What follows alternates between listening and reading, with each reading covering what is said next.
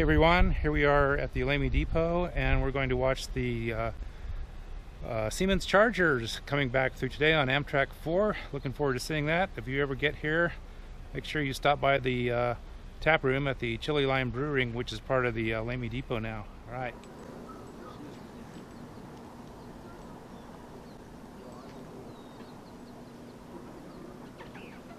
They